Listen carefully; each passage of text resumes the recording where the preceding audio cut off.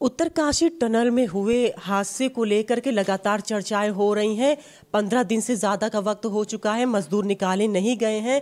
ऐसे में देश के ड्रोन मैन ऑफ़ इंडिया और रोबोटिक्स साइंटिस्ट मिलिंद राज जी को बुलाया गया है और उन्होंने एक डिवाइस भी मेंटेन कर ली है जो मजदूरों को बाहर निकालने में मदद करेगी। आइए ज़्यादा जानकारी ले चलते हैं आपको मिलिंद राज जी के पास और उनसे जानते हैं इस डिवाइस के बारे में। तो ये जैसा कि आप देख सकते हैं उत्तरकाशी में जो इकतालीस लोग फंसे हुए हैं, ये उनको रेस्क्यू करने का एक रोबोटिक रेस्क्यू सिस्टम डेवलप किया गया है। ये 40 घंटे के अंदर अंदर बल्कि उससे भी कम समय में ये बनाया गया है तो ये दिखने में बहुत खूबसूरत नहीं बन पाया, पर इसका जो पर्पस है, वो बहुत ही मज़बूत है। इसका जो उद्देश्य है, वो बहुत ही स्ट्रांग है। ये रोबोट अकेला ऑल इन वन कई चीज़ें करेगा। पहला, ये उन जगहों पे जहाँ पे मुश्किल से नेटवर्क भी रिसीव होता है, वहाँ पे ये हाई स्पीड इंटरनेट देगा, जिसकी मदद से हम लोग बाकी ऑपरेशंस कर सकते हैं। दूसरी चीज़, ये जो रोबोट है, ये अपने स्टैंड अलोन एरिया से 100 मीटर दूर तक ये पूरी तरह 24 घंटा मॉनिटर करेगा उनकी सेहत का। यदि इकतालीस में जो व्यक्ति फंसे हुए उनमें से किसी भी सेहत में कोई गिरावट आती क्योंकि उनका मानसिक संतुलन एक, उसको बनाए रखना बहुत ज़रूरी है, मेंटल वेलबींग।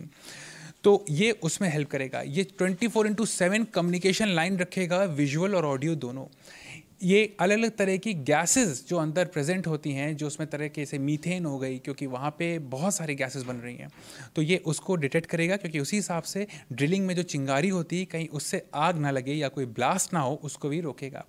साथ ही साथ इसमें hyper sensitive audio reception system है, जो कि ये वही चीज़ है जो हमने अलाय अपार्टमेंट जब बिल्डिंग गिरी थी, उसमें जब हमने लगाया था, जो भूकंप की वजह से, जिसमें चौदह लोगों को जीवित निकाला था। ये वो सिस्टम इसमें भी हमने इंटीग्रेट किया है कि यदि कोई इंसान वहाँ फंस जाता है मलबे में तो ये अपने स्टैंड अलोन पॉइंट से 100 मीटर दूरी तक जो भी अंदर फंसा होगा, ये सांस भी ले रहा होगा, उसका हम फ़ीड उठाना शुरू करेंगे।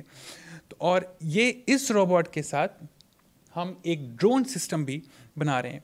हमने ये ले जा रहे हैं हम। ये एआई ड्रोन है। ये अलग अलग तरह क्योंकि वो बहुत ही खतरनाक एरिया है। वो पहाड़ी इलाका है। वहाँ लैंडस्लाइड्स बहुत होती हैं और वो सबसे प्रोन एरिया है।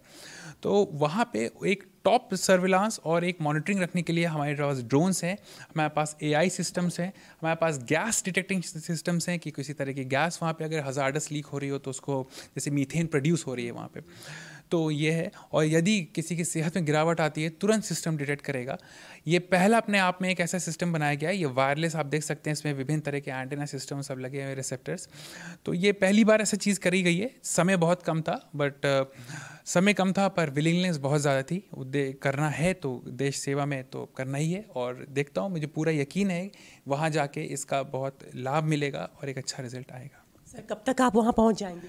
तो आज हम सब लोग लेके निकल रहे हैं और वहाँ पे फिर हेलीकॉप्टर से सारा सामान को वहीं साइड पे लैंड कराया जाएगा। तो कल से ये शुरू हो जाएगा मिशन। और ये मिशन काफ़ी चैलेंजिंग है सभी के लिए। हमारे लिए भी चैलेंजिंग है क्योंकि डिस्टेंस बहुत बड़ा फैक्टर है। दूरी लगभग साढ़े नौ सौ किलोमीटर है लखनऊ से वो दूरी। और वो दूरी तय करने में काफ़ी समय लग जाता है। अलाय अपार्टमेंट में ये था जो लखनऊ में हादसा हुआ था कि हमारे पास बस पंद्रह मिनट का रास्ता था तो काफ़ी थी। बट ये इस बार टेक्नोलॉजी का फिर से प्रयोग कर रहे हैं और वहाँ पे जो हमारे सेना के जवान हैं जो कर्नल्स हैं उन सबको पूरा यकीन है कि कुछ एक नई चीज़ हम लोग ला सकते हैं और बचाव रेस्क्यू में लगा सकते हैं। जी सर कितने वक्त में आपने इसको तैयार किया है? चालीस घंटे से कम। मैं मैं बता रहा हूँ मैं ना सो रहा हूँ ना कुछ है बस इसको मुझे करना है और ले जाके वहाँ मिशन पे एग्जीक्यूट करना है और बहुत सारी चीज़ें सीखनी भी हैं और इससे बेटर बनानी भी हैं। जुड़े मेरे साथ मैं लखनऊ से अंजलि सिंह राजपूत न्यूज़ एटीन